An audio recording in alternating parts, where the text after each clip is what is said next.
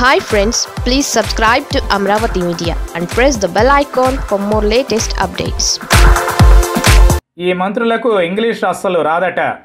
English ఇప్పుడు AP రాజకీయాల్లో hot topic ప్రభుత్వ పాఠశాలల్లో ఆంగ్ల మాధ్యమంతో వచ్చే ఏడాది నుంచి బోధన చేయాలని వైసీపీ సర్కార్ నిర్ణయించింది. దానికి విపక్షాలు గట్టిగానే అడ్డు తగులుతున్నాయి. తెలుగు చచ్చిపోతుందని కూడా అనేస్తున్నాయి. మాతృభాష మీద గౌరవం లేదా అంటూ తోలనాడుతున్నాయి. ఇక ఈ విషయంలో కులాన్ని మతాన్ని కూడా తీసుకొస్తున్నాయి.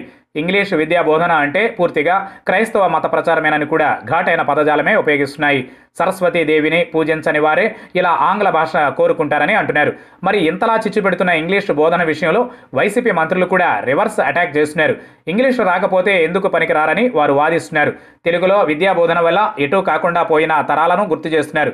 మరి కొందరు మంత్రులు మరో అడుగు ముందుకేసి తాము ఇంగ్లీష్ రాక నానా అవస్థలు పడుతున్నామని స్వీయ అనుభవం చెప్పుకుంటున్నారు. ప్రత్యేకించి విజయనగరం జిల్లాకు చెందిన ఇద్దరు మంత్రులు తమకు ఇంగ్లీష్ వంటబట్టక పడ్డ పాట్లు బాహటంగానే వ్యక్తం చేశారు. వైసీపీ కేబినెట్లో సీనియర్ మంత్రిగా ఉన్న బొత్స సత్యనారాయణ తనకు ఇంగ్లీష్ రాదని ఒప్పేసుకున్నారు.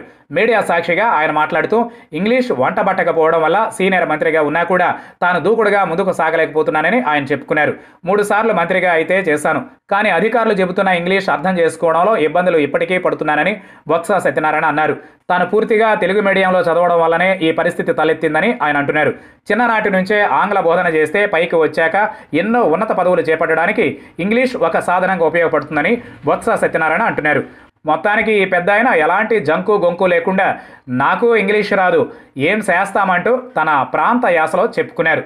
ఇక పిన్న వయస్సులోనే రెండుసార్లు ఎమ్మెల్యేగా గెలిచి జగన్ కేబినెట్లో ఉప ముఖ్యమంత్రి పదవిని దక్కించుకున్న పుష్ప శ్రీవాణి సైతం ఇంగ్లీష్ తనకు రాదు అంటున్నారు.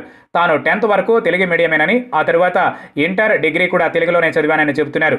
ఆంగ్ల భాషపై పట్టు లేకపోవడం తనకు ఉప ముఖ్యమంత్రిగా ఇబ్బందిగానే ఉందని ఆమె బొత్సతో గొంతు కలిపారు. ఇలా ఇంకెంతమంది వైసీపీ మంత్రులు ఇంగ్లీష్ రాక అవస్థలు పడుతున్నారు మరి ముందు వీరికి ఆంగ్ల భాష మెరుగుదల కోసం ట్యూషన్లు పెట్టే కార్యక్రమం ఏదైనా జగన్ చేస్తారా అన్నది చూడాలి. ఇంగ్లీష్ బోధన ఎంత ముఖ్యమో చెబుతున్న వారిలో ఎమ్మెల్యేలు కూడా ఉన్నారు.